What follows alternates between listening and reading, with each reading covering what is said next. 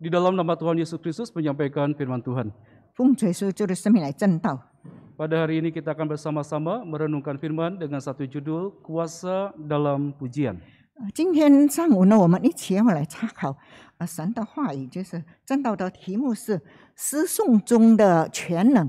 Mari kita bersama-sama mengawali firman dengan membuka kitab Wahyu pasal yang ke-5 ayat yang ke-13. 请看启示录 五章十三节， Kitab Wahyu pasal yang ke-5 ayat yang ke-13. 启示录五章十三节， Kitab Wahyu pasal yang kelima ayat yang ke-13. 启示录五章十三节。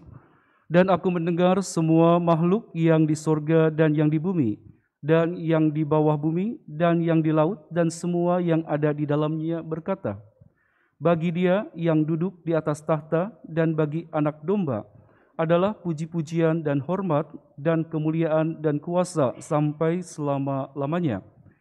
Di sini dikatakan bahwa semua makhluk baik di surga maupun di bumi mereka memuji Tuhan. 这里说到，无论在天上、地上、地底下的，都颂赞神。 Mengapa Allah itu memuji, dipuji? 为什么神这的称颂呢？ Karena di sini katakan bahwa segala pujian dan hormat itu hanya bagi Allah. 因为这里说到，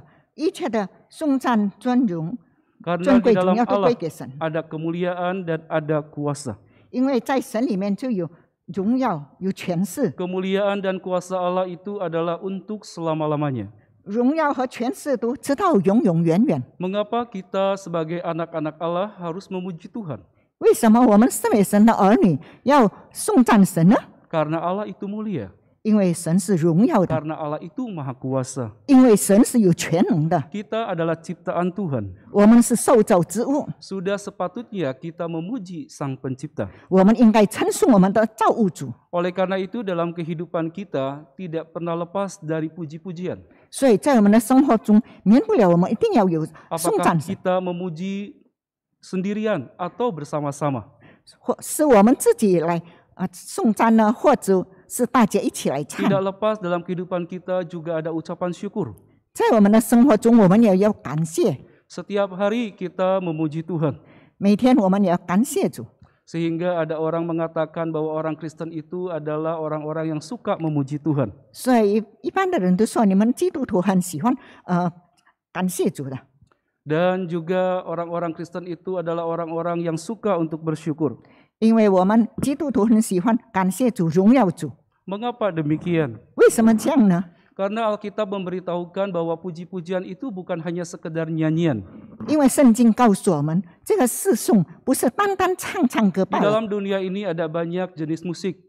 在世界上很多的音乐， Telinga sungguh sangat dimanjakan dengan alunan-alunan musik yang berbeda-beda. 我们的这颗耳朵很享福啊，因为我们能够听到很多的旋律。 Setiap orang memiliki seleranya sendiri. 我们每一个人都有每一个人的嗜好。 Mengapa orang suka mendengarkan musik? 为什么人喜欢听音乐呢？ Karena enak untuk didengar. 因为很悦耳， Terlebih lagi kalau dalam keadaan hati sedang tidak enak. 尤其是在我们心里不舒服的时候， Mungkin kita merasa sungguh sangat suntuk 我们觉得很烦躁， dan kemudian kita ingin menenangkan diri. 我们要镇定自己。 Mungkin kita dalam keadaan marah.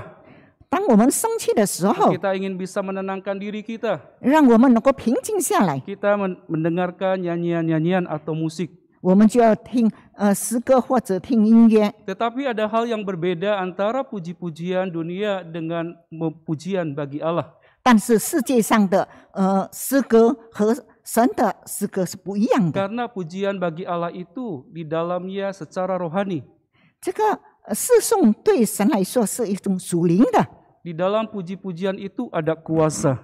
在这个诗颂中有全能。 Mari kita bersama-sama melihat di dalam kitab 1 Samuel pasal yang ke-16 ayat yang ke-14. 我们一起来看《撒母耳记上》十六章 十四节。 Kita lihat kitab 1 Samuel pasal yang ke-16 ayat yang ke-14. 撒母耳记上十六章十四节， Di sini dikatakan tetapi roh Tuhan telah mundur daripada Saul dan sekarang ia diganggu oleh roh jahat yang daripada Tuhan. Alkitab mengatakan bahwa Allah telah meninggalkan Saul. 圣经告诉我们， 神离开了扫罗？ Mengapa Tuhan meninggalkan Saul? 为什么神离开扫罗呢？ Karena Saul telah melanggar firman Allah. 因为扫罗违背了神的话， Ia dengan berani untuk mempersembahkan korban kepada Tuhan. 他擅自作主的来献祭。 Padahal sesungguhnya itu harus dilakukan oleh seorang Lewi. 其实呢，那是因为应该是利未人做的。 Saul ini adalah orang Benyamin. 扫罗是便雅悯派的， Kemudian ia memberanikan diri memberikan korban kepada Tuhan. 他勇敢的去给神献 Maka 祭， Tuhan meninggalkannya. 所以神离开了他。 Bapak, Ibu, dan saudara-saudari yang terkasih di dalam Tuhan, karena Tuhan meninggalkan Saul, maka roh jahat masuk ke dalam dirinya. 亲爱的主内弟兄姐妹们，因为扫罗，呃，神的灵离开了扫罗， Kalau di dalam ayat ini seakan-akan roh jahat itu dari Tuhan, 恶魔就从就来了，看起来是从神而 tetapi 来的， sesungguhnya tidaklah demikian. 其实呢不是这样的。 Maksud yang dari ayat ini adalah Allah membiarkan Saul itu dikuasai oleh roh jahat. 这经节告诉我们，神就是让那些恶魔来扰乱这个呃扫罗， Karena Allah sudah menolak Saul. 因为扫罗，因为神拒绝了扫罗， Saul sudah semakin jauh dari Tuhan. Hidup tidak taat kepada firman Tuhan. Maka dalam kehidupannya tidak ada damai sejahtera. Hidupnya sungguh sangat menderita. Di sini dikatakan bahwa Saul ini diganggu oleh roh jahat. Saul sebagai seorang raja. Tapi kehidupannya terganggu. 但是他的生活受扰 Tentu 扰 saja 乱 ini，sangat mempengaruhi keadaan kerajaan. 所以这个一定影响他的国位。 Maka pegawai-pegawainya memperhatikan Saul. 呃，他的臣仆就注意扫罗， Pegawai-pegawainya ini memberikan saran supaya Saul mencari orang yang bisa memainkan musik. 扫罗的臣仆就建议他找一个能够弹琴的人， Supaya ketika roh jahat itu mengganggunya, Saul bisa merasakan nyaman. 当恶魔临到他身上的时候，他能够觉得安宁。 karena ketika Saul ini dikuasai oleh roh jahat, maka orang-orang di sekitarnya juga merasakan tidak nyaman.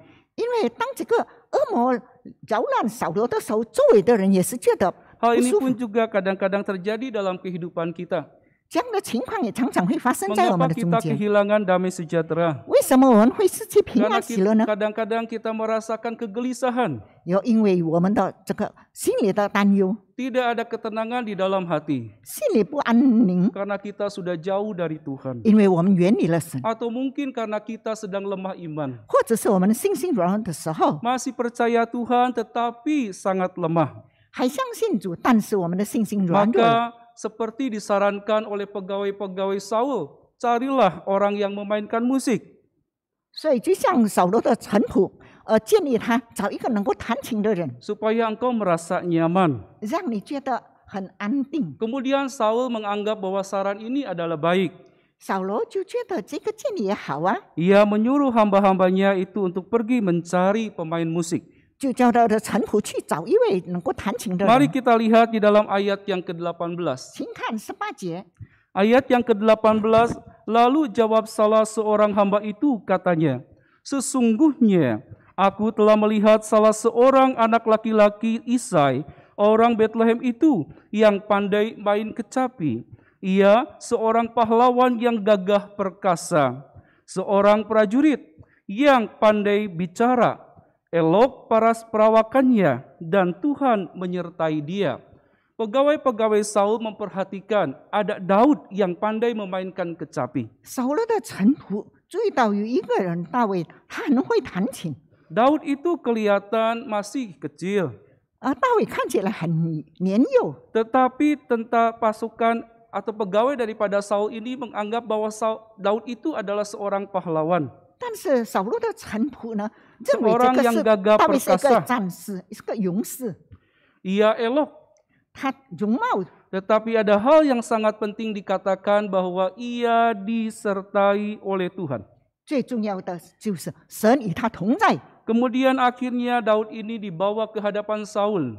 后来呢， 大卫就带带到呃扫罗面前， Saul sungguh sangat senang 扫罗很高兴， sehingga meminta kepada Isai supaya Saul, Daud ini bisa bekerja kepadanya. 就对耶西说，让他这个儿子能够 势力在他周围。 Mari kita lihat di dalam ayat yang ke-23. 请看二十三节， Dan setiap kali apabila roh yang daripada Allah itu hingga pada Saul, maka Daud mengambil kecapi dan memainkannya. Saul merasa lega dan nyaman, dan roh yang jahat itu undur daripadanya. Satu peristiwa yang sungguh sangat ajaib ketika Daud menaikkan pujian, menaikkan memainkan musik, maka roh jahat itu undur dari Saul. 很奇妙的事情发生。当大卫弹琴的时候， Mengapa 恶 bisa 恶魔 demikian? 在扫罗的身上，扫罗就觉得很舒畅。为什么会这样呢？ Karena ketika Daud memainkannya bukan hanya sekedar karena ia ahli memainkan kecapi. Di sini dikatakan karena ada Allah yang menyertai Daud. Dalam hal ini kita boleh bersama-sama kembali merenungkan.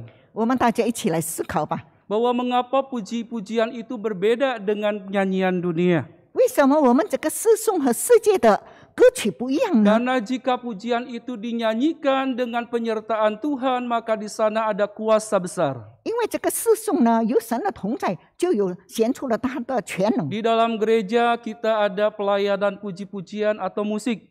在教会，我们有个诗颂，还有一个音乐 Di 团。 dalam puji-pujian pelayanan musik tentu kita berusaha menampilkan sesuatu yang terbaik. 在这个诗颂中或者这个音乐组的，我们 Apa 肯 yang 定了 sering 表彰圣的 diperhatikan? 最好的。 Apa yang sering diperhatikan? 我们注意些什么呢？ Yaitu bagaimanakah menyanyi dengan benar. 就是怎么正确的唱， Bagaimana supaya suaranya itu bisa terjadi harmonisasi. 让这个声音很和谐。 Sehingga memainkan musik pun juga demikian terlihat harmonis. 弹琴的演奏的也是这样，很和谐。 Memang benar tidak salah kita belajar teknik-teknik pujian atau memainkan musik. 本来我们学习这个唱歌的呃技巧和音乐的技巧， Tetapi di dalam puji-pujian sesungguhnya itu bukanlah yang paling utama. 但是在这个世颂中，不是这一点最重要。 Tetapi apakah ketika kita menaikkan pujian dan memainkan musik ada penyertaan Allah atau tidak? 而是当我们诗颂或者弹奏音乐的时候，是否有神的同在呢？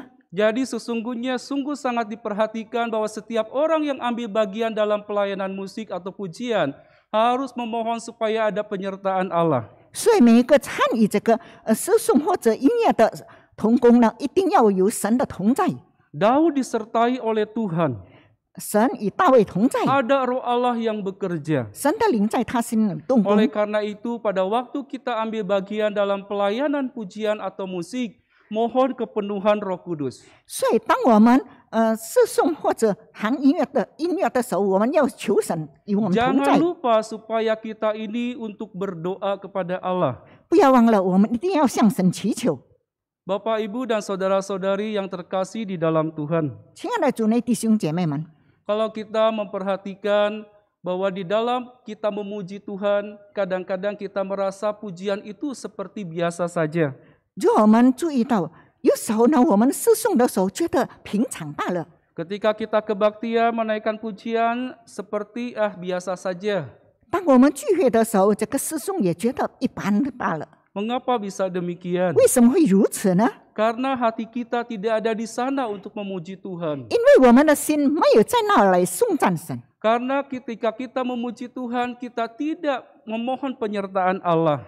因为当我们诗颂的时候，没有求神来与我们同在， Oh nyanyi ya sudah sekedar menyanyi saja. 唱歌就随便唱唱罢了， Atau kadang-kadang kita pun hanya diam saja. 或者我们静静的。 Karena kita kadang-kadang menganggap bahwa nyanyian pujian itu bukan sesuatu yang penting. 啊，或许是我们觉得唱歌不重要吧， Tetapi Alkitab memberitahukan kepada kita 但是圣经告诉我们， bahwa di dalam pujian itu sungguh ada kuasa Tuhan. 其实呢，在侍奉中有神的全能。Kadang-kadang bisa terjadi pada waktu kebaktian ada orang yang memuji Tuhan. 有时候在聚会中有人唱诗的时候，Dari awal memuji ia meneteskan banyak air mata. 从开始他唱诗就已经掉眼泪了，Terus meneteskan air mata. 一直流泪。Mengapa? 为什么呢？ Karena pujian itu sungguh menggerakkan hatinya. 因为那个诗歌触动了他的内心， Ia sungguh merasakan bahwa Allah itu menjamahnya melalui pujian itu. 他就感觉到神通过这个诗歌来触动他的心。 Ada orang pun juga bisa menjadi bertobat karena ia mendengarkan pujian. 有时候呢，有人就是因为听了这个诗歌来悔改， Karena ketika ia menaikkan pujian, ia sungguh-sungguh memohon supaya Allah menggerakkan hatinya. 因为当他唱诗的时候，就求神来感动他。 Oleh Baik, karena baik, itu, walaupun mungkin kita ini tidak pandai memuji, 所以呢，虽然我们不聪明， mungkin suara-suara Lisa. kita suara yang fales, 或唱歌， 唱歌也走调， tapi jangan menjadi suatu hambatan bagi kita untuk bisa meninggikan dan memuliakan Allah. 但是这一点呢，不要来阻挡我们去来 Kita 颂 bisa 赞神。 mengucap syukur kepada Tuhan, 我能我们能够颂赞神、 memuliakan Allah 荣耀神， di dalam hati yang tulus. 就是在我们纯正的 Tuhan 心， akan berkenan. 神会悦纳 Hati yang 的。 suka berdoa, 神喜欢祷 Tuhan 告， akan berkenan. 神会悦纳。 Sehingga pujian dan ucapan syukur kita akan diberkati oleh Allah. 所以这个诗颂呢，颂赞呢，神会祝福我们的。 Mari kita melihat juga suatu peristiwa yang lain di dalam Alkitab. 我们再来看看呃圣经中的其 Di 他 dalam 事件， kitab 2 Tawari pasal yang ke-20. 请看历代之下 2 二十章， Tawari sa- du- 2 Tawari pasal yang ke-20 历代之下二十章 ayat yang ke-1. 第一节， Dua Tawari pasal yang ke-20 ayat yang ke-1. Setelah itu Bani Moab dan Bani Amon datang berperang melawan Yosafat bersama-sama sepasukan orang Me Meunim. Datanglah orang memberitahukan Yosafat suatu laskar yang besar datang dari seberang laut Asin dari Edom menyerang tuanku. Sekarang mereka di Hazeson Tamar yakni Engedi. Dikatakan pada waktu itu kerajaan Yehuda di bawah kepemimpinan Yosafat. 那时候呢，犹大在这个约沙王国王的统治下， Musuh daripada kerajaan Yehuda pada waktu itu adalah Bani Amon dan Bani Moab. 那时候犹太人的呃敌人就是摩亚人和亚门人， Mereka ini adalah keturunan daripada Lot. 他们呢是罗德的后代， Mereka maju berperang untuk melawan Yehuda. Ketika dikatakan ada laskar yang sangat besar datang, maka Yosafat menjadi sangat ketakutan. Lalu apa yang dilakukan oleh Yosafat? Yosafat Dikatakan di dalam ayat yang ketiga. 第三节说， Yosafat menjadi takut lalu mengambil keputusan untuk mencari Tuhan. Ia menyerukan kepada seluruh Yehuda supaya berpuasa. Dan Yehuda berkumpul untuk meminta pertolongan daripada Tuhan. Mereka datang dari semua kota di Yehuda untuk mencari Tuhan. Ye- Yosafat merasakan ketakutan. 约沙法怕，约沙法很害怕， Dia tidak lari, 他不是逃跑， tetapi ia datang kepada Allah. 但是他决定了去寻找耶和华。 Untuk mengambil keputusan dia mencari Tuhan. 他为了做一个决定来寻，就 Dia 是来 tidak 找 tahu 耶 apa yang 神。 harus dilakukan. 他不知道他要做什么， Ia berdoa tidak hanya sendirian. 他不是单单自己祷告， Karena merasa bahwa dirinya itu tidak sanggup untuk menghadapi musuh. Maka apa yang dia lakukan, ia mengajak seluruh orang Yehuda untuk berdoa dan berpuasa. Berdoa sendirian merasa lemah. 因为自己一个人祷告很 Ia 软，没 meminta 有力量， supaya semua Yehuda untuk berdoa. 所以他要求全部的犹大人都来祷 Bukan 告， hanya sekedar berdoa, 不单单祷告， tetapi berpuasa juga. 而也一起也进食。 Sungguh sikap yang sangat luar biasa dari Yosafat 这个是约沙法很好的行动， dan juga menunjukkan sikap kerendahan hati dan bersandar kepada Allah. 也表明了他的谦卑来依靠神。 Yosafat mengutarakan segala persoalan dan ketakutannya itu kepada Tuhan. 约沙法将他一切的惧怕、一切的忧虑交托 Dalam 给神。 doanya itu sungguh nampak Yosafat memohon belas kasihan Tuhan. 在祷告中看到了他求神的怜悯。 Di dalam ayat ke-14 dikatakan, lalu Allah memakai Yahaziel untuk berbicara kepada Yosafat. 四世节告诉我们，神就接着亚哈西来 kausu Yosafat. Apa yang disampaikan oleh Yahaziel ini? Yahaz si Ayat yang ke-15 mengatakan. Dan berseru, camkanlah hai seluruh Yehuda dan penduduk Yerusalem dan tuanku Raja Yosafat.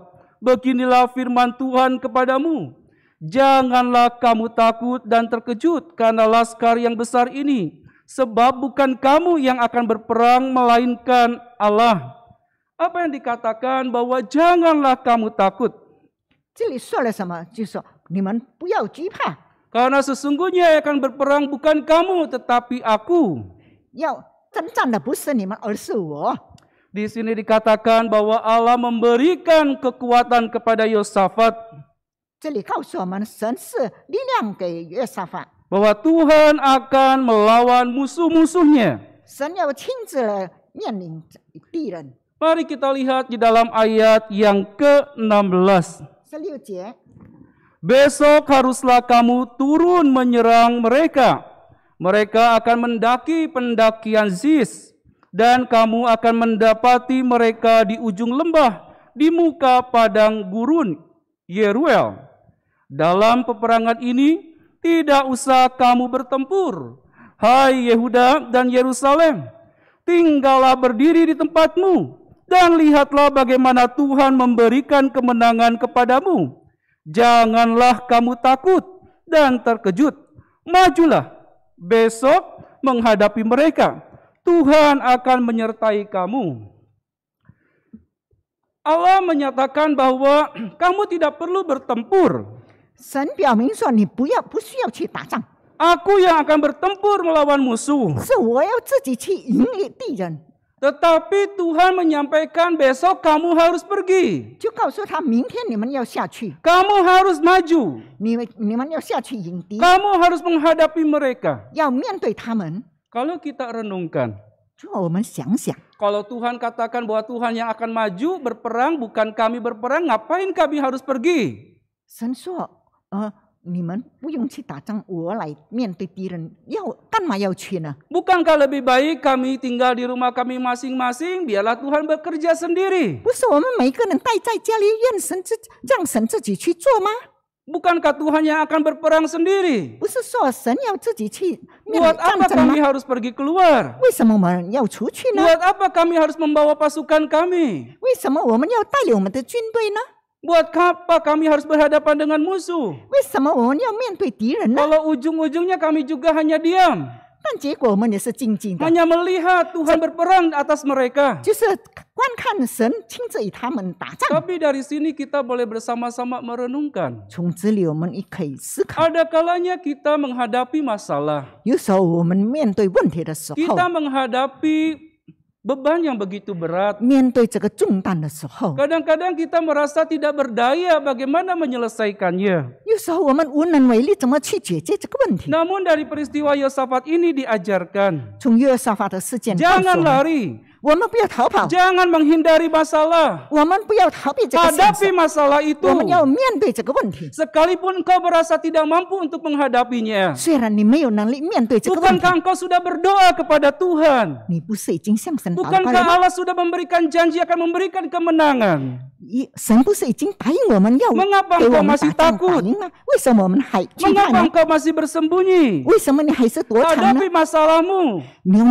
Hadapi tantanganmu. 你要面对这个挑战。 Ingat ada Tuhan yang akan menjagamu. 记得有神来保守我们， Inilah yang dipegang oleh Yosafat. 这就是约沙法持守的， Tuhan sudah berjanji akan memberikan kebenangan. 因为神已经应答应他要给他们打 Tetapi ia 胜 pun 仗， juga tetap maju. 但是他还是 Tidak 向 tahu apa yang 前 akan 迎领 terjadi ke depan. 他不知道前面将发生什么事情， Tetapi ia berpegang kepada iman. 但是他相信， pegang kepada firman Tuhan. Ia tetap maju pergi menghadapi masalah. Bukan lagi dengan ketakutan. Tetapi ia maju dengan pengharapan.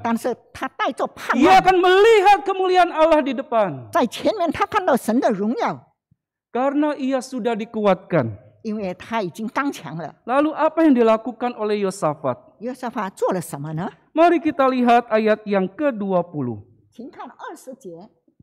Keesokan harinya pagi-pagi mereka maju menuju padang gurun Tekwa. Ketika mereka hendak berangkat, berdirilah Yosafat dan berkata, Dengar, hai Yehuda dan penduduk Yerusalem, percayalah kepada Tuhan Allahmu, dan kamu akan tetap teguh. Percayalah kepada nabi-nabinya, dan kamu akan berhasil. Yang dilakukan oleh Yosafat pagi-pagi memberikan semangat kepada penduduk Yehuda. 约沙法所做的，清晨起来，他就给这个众人打气， Jangan takut, 不要惧怕， tetap teguh, 我们要立稳， percaya pada Tuhan, 我们相信神， percaya kepada perkataan nabi-nabinya. Menyimpan firman itu di hati. Kemudian ayat 21 mengatakan, Setelah ia berunding dengan rakyat, ia mengangkat orang-orang yang akan menyanyi nyanyian untuk Tuhan dan memuji Tuhan dalam pakaian kudus yang semarak pada waktu mereka keluar di muka, orang-orang bersenjata sambil berkata, Nyanyikanlah nyanyian syukur bagi Tuhan, bahwasanya untuk selama-lamanya kasih setianya. Di sini dikatakan bahwa yang dilakukan oleh Yosafat untuk berperang adalah menaikkan puji-pujian. Yosafat Orang berperang harusnya mengangkat senjata 呃，一般是打仗的人是要带着武器 membawa tentara yang besar, 带着大军队， mempersiapkan pasukan yang hebat, 已经准备了这个强壮的这个 mencari 军队， orang-orang yang terlatih. 找那些训练过的军人。 Tetapi Yosafat justru mengatur siapa yang akan menaikkan 呃， puji-pujian. 约沙法呢，他安排了那些来唱歌颂赞神的人。 Memang ada orang-orang bersenjata, 本来有那些呃武装军队， tetapi ada orang-orang yang ditempatkan di depan, yaitu mereka yang menaikkan puji-pujian bagi Tuhan. Apa yang dikatakan dalam pujian itu? Nyanyikanlah nyanyian syukur bagi Tuhan. Menaikkan puji-pujian untuk memuliakan Tuhan 我也就是我们要诗颂来赞美神。 Kalau kita boleh mengingat bagaimanakah bangsa Israel ketika masuk ke tanah perjanjian Tuhan. 我们还记得吗？当以色列民要进到呃应许之地的时候， Ketika mereka akan menghancurkan kota Yeriko. 当他们要毁掉这个耶利哥城的时候， Apa yang dilakukan oleh bangsa Israel? 以色列民做了什么呢？ Mereka berkeliling mengelilingi kota Yeriko sehari satu kali. 他们绕那个耶利哥城一天绕一次， Dan kemudian pada hari yang ketujuh mereka berkeliling tujuh kali. 第七天绕了七次， Tidak boleh mengeluarkan sepatah kata pun. 一句话都不可说， Yang terdengar hanyalah bunyi sangkakala yang ditiupkan oleh para imam. 只有听到呃先知们所吹的号角声， Mau menghancurkan kota yang begitu kuat, 要毁掉这个强大的、坚固的这个城市， hanya dengan berkeliling-keliling saja.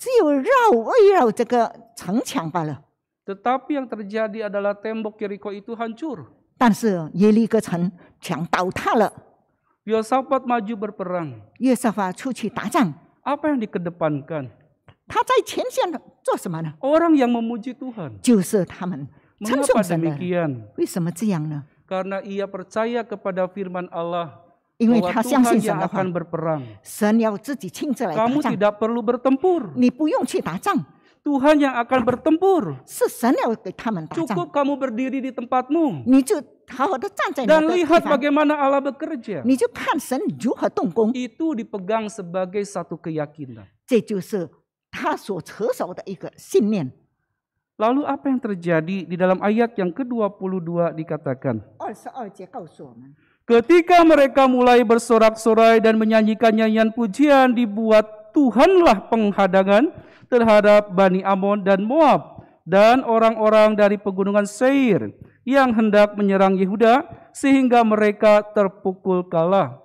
Mari kita perhatikan ketika mereka mulai bersorak-sorai dan menyanyikan nyanyian pujian. Jadi ketika pujian itu terangkat, Tuhan bekerja. 请注意一下，这里说到众人方唱歌赞美的时候，神亲自来动工。Sungguh di dalam pujian itu ada kuasa. 在这个侍颂中有全能，Berbeda dengan nyanyian-nyanyian dunia. 和世上的歌曲不一样。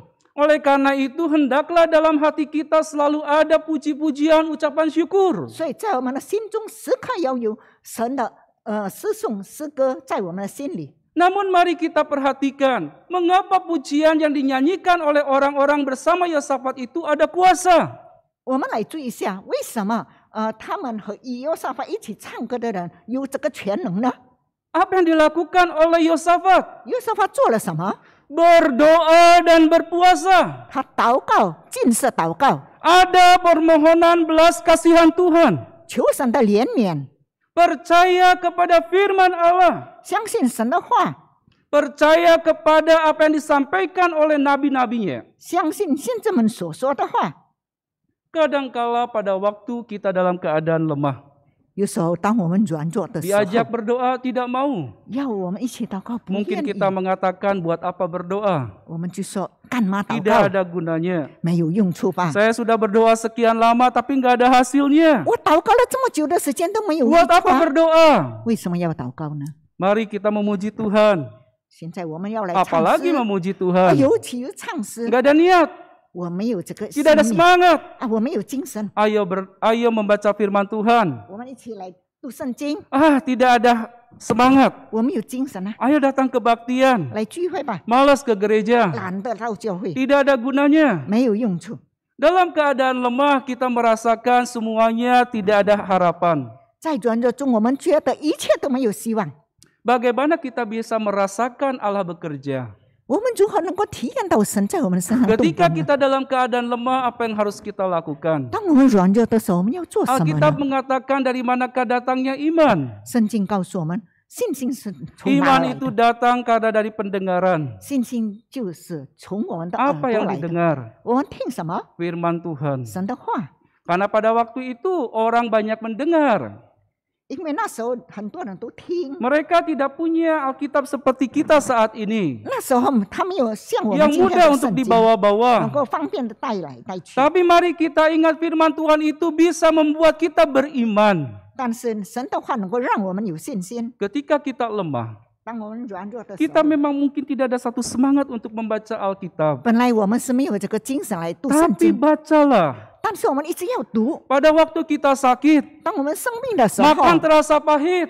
呃，口很苦， Tidak ada selera untuk makan. 没有胃口来吃东西。 Bukankah kita sering mendengar, ayo makan sedikit demi sedikit tidak apa-apa, terasa pahit tidak apa-apa. 不是我们常常劝人说，虽然口很苦，没有胃口也不要紧，慢慢一口一口的吃吧， Supaya badan kamu ada tenaganya, supaya ada gizinya. 让你有营养，有身体呢能够健康。 Tidak ada semangat untuk mengunyah, tidak apa-apa satu suap, satu suap saja.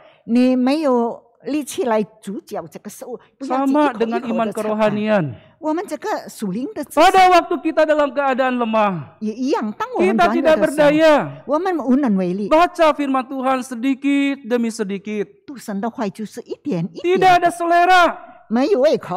Sedikit demi sedikit dicoba. Percaya 相信 ada kuasa yang besar. 有大的全能。 Ketika iman itu tumbuh, 当我们的信心 ada 产生了以后 kekuatan untuk berdoa pada Tuhan. 我们就有能力来向神祷告， Ada kekuatan untuk berseru kepada 我们 Tuhan. 就有能力来呼求神， Ada kekuatan untuk memuji Tuhan. 我们就有能力来颂 Sehingga 赞 pada 神。 waktu pujian itu dinaikkan, 当我们唱诗的时 ketika 候， ada ucapan syukur itu dipanjatkan, 当我们感恩的时候， sangat besar kuasanya. 就有很大的全能。 Ada seorang saudara, 有一位弟兄， pada suatu hari ia mengalami sakit. 有一天他病倒了， Pada waktu itu dia tinggal bersama tantenya. 那时候他跟他的啊男的阿姨一起住， ia enggak enak hati untuk bicara kepada tantenya bahwa ia sedang sakit. Ia tahan sakitnya itu sendirian. Ia hanya berdoa Tuhan tolong sembuhkan. Supaya saya jangan merewot, merepotkan tante saya. Yang ia doakan Tuhan tolong sembuhkan supaya saya tetap bisa bekerja.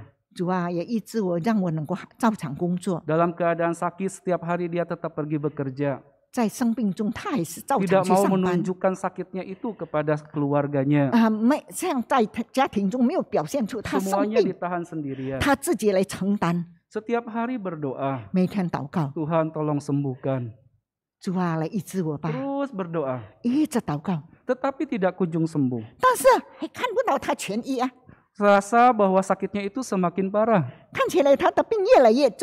Tapi kemudian ia diingatkan oleh Tuhan. Bersukacitalah senantiasa. Dan ia kemudian diingatkan untuk bersyukur kepada Tuhan.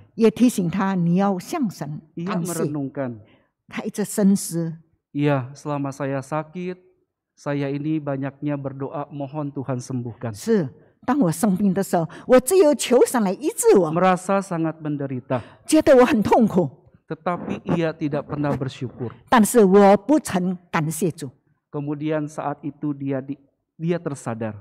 后来呢，他觉悟到， Kemudian ia tetap pergi be- untuk pergi bekerja. 他也照常去上班。 Dalam perjalanan ia masih merasakan sakit, 在上班的路途中，他觉得 tetapi dalam 生 perjalanan 病， itu ia mulai memuji Tuhan. 但是在这个上班的路程中，他开始赞美 Apa 神。 yang ia ucapkan? 他说了什么呢？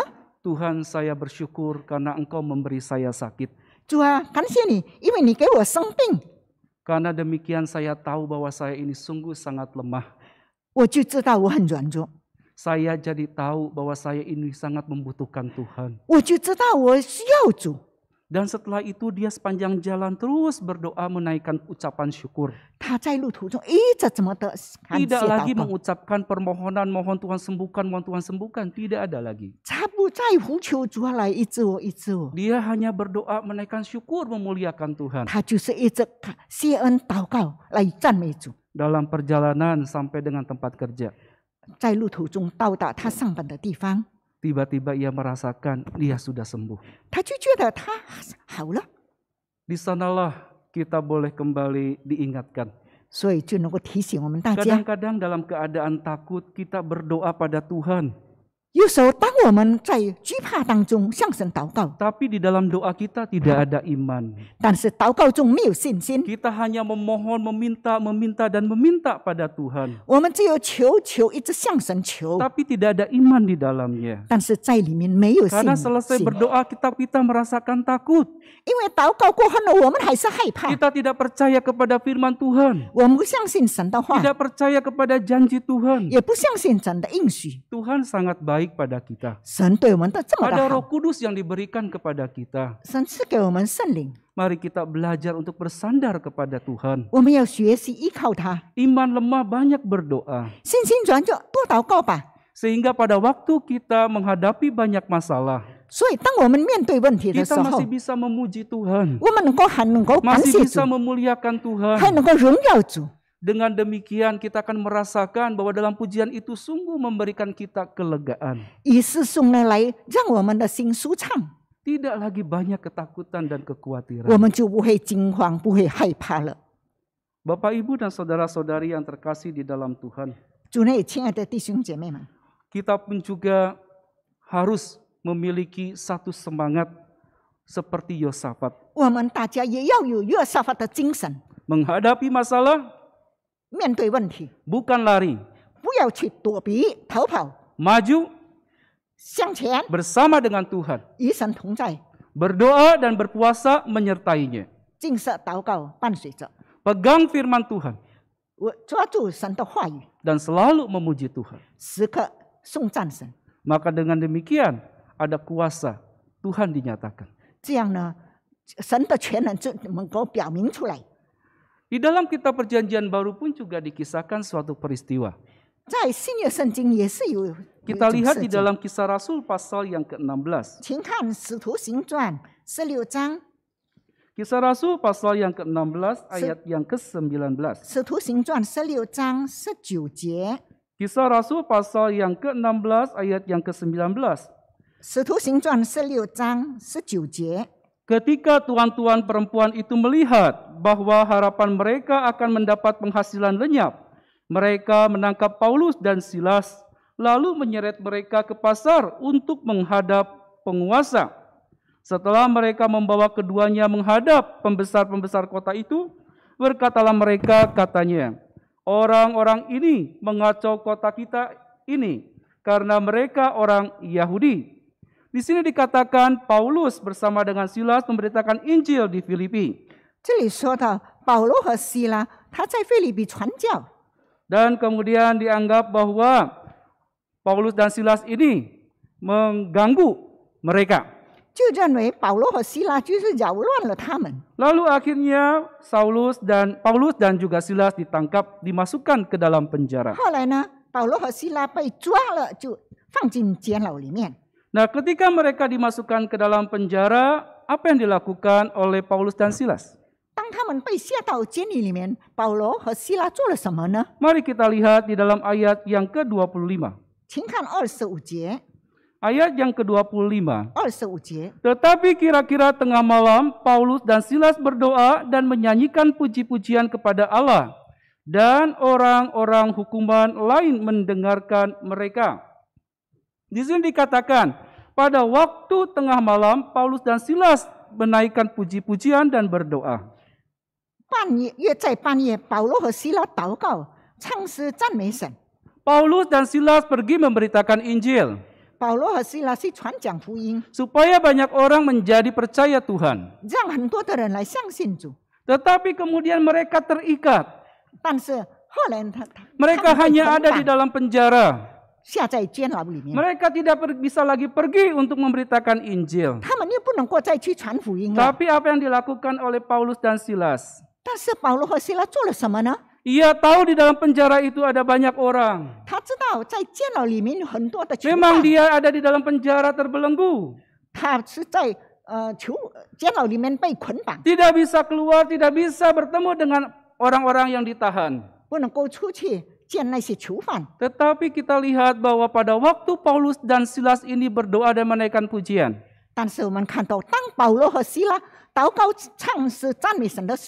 Suara mereka itu bisa didengar oleh orang lain.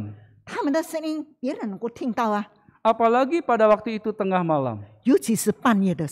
Keadaan sudah sepi. 很很寂静的时候， Dan bahkan dikatakan penjaga penjara pun juga sedang tertidur. 那些守监狱的人正在睡觉啊， Mereka berdoa menaikkan pujian. 他们呢祷告、唱诗， Didengarkan oleh orang-orang yang ada di dalam penjara. 所以众囚犯也听到了 Hal ini memberitahukan kepada kita. 这件事，告诉我们， Injil itu tidak dapat dibelenggu.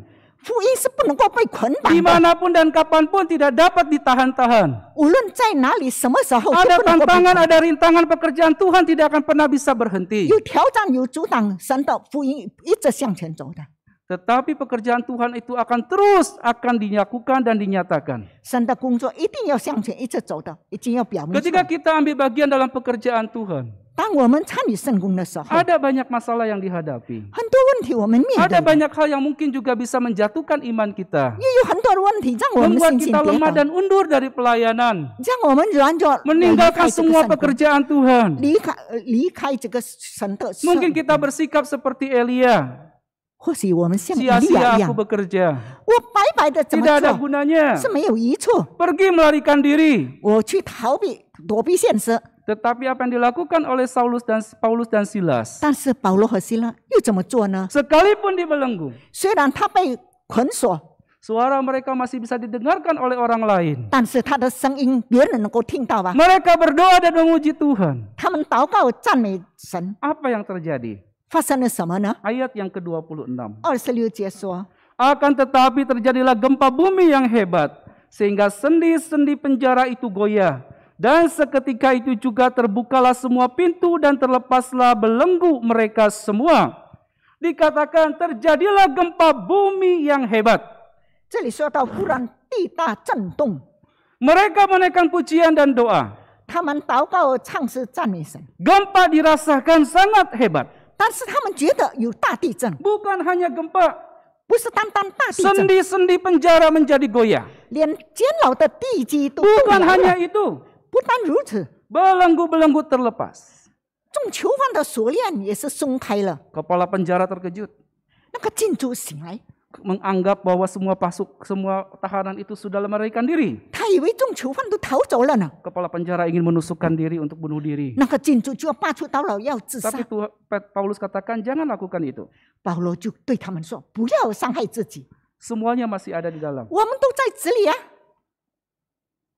我们都在这里啊。 Bapak, Ibu, dan saudara-saudara yang terkasih di dalam Tuhan. ”亲爱的主内弟兄姐妹们， Kalau kita melihat penjara itu membuat orang itu terkurung, tidak bisa berbuat banyak. 我们知道监牢是让人不能够自由活动， Demikian pula dengan kehidupan rohani kita. 我们的属灵生活也如此。 Ada hal yang tidak nampak tetapi membuat rohani kita itu terbelenggu. 看起来是呃，看 表面上看 Terpenjara 不，但是我们的属灵被捆锁、枷锁了， Membuat kita tidak berdaya. 让我们没有能力， Kita merasa tidak ada harapan. 我们觉得没有盼望了， Seakan-akan masa depan kita sudah hancur. 看起来我们的前没有前途了。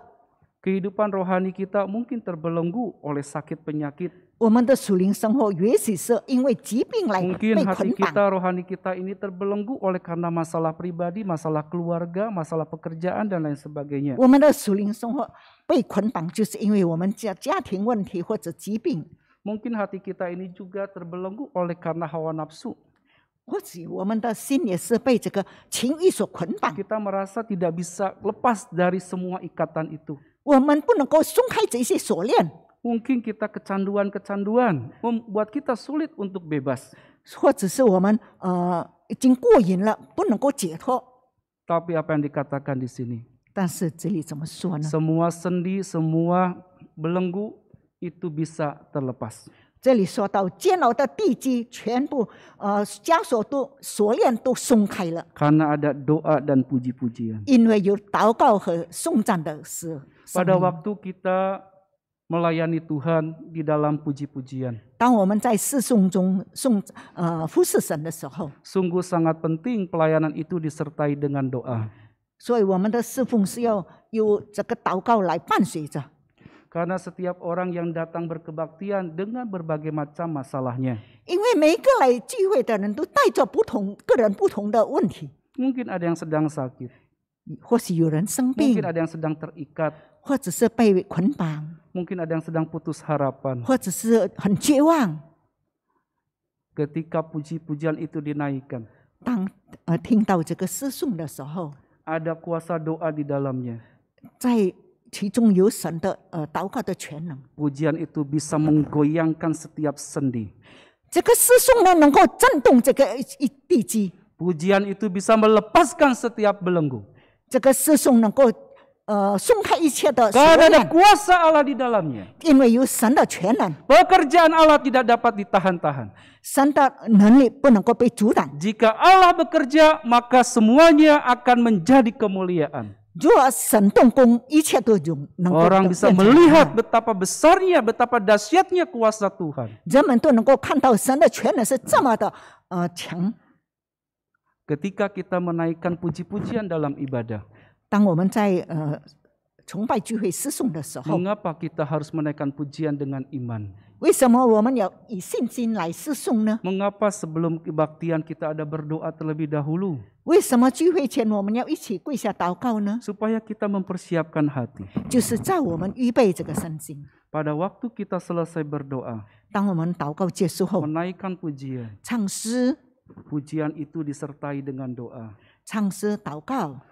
Pujian itu disertai dengan iman. 唱诗有信心的唱诗。 Ketika terdengar pujian jemaat, 当听到信徒的歌声， mungkin mereka yang hadir ada yang sedang mengalami banyak pergumulan.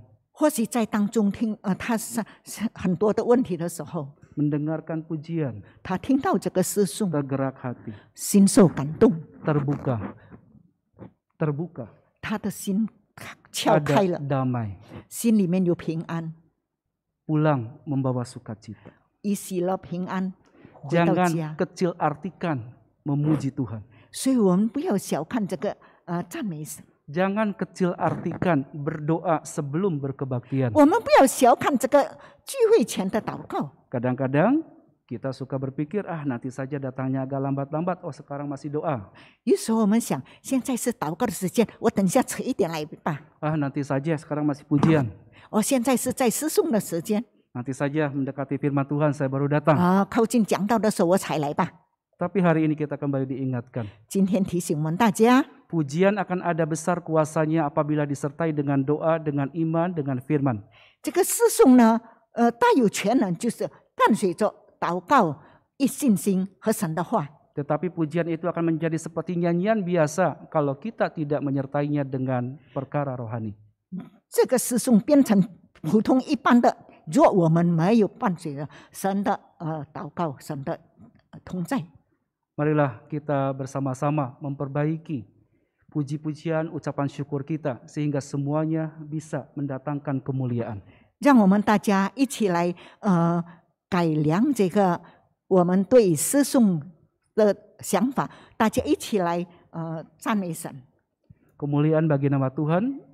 一切荣耀归给神，阿门。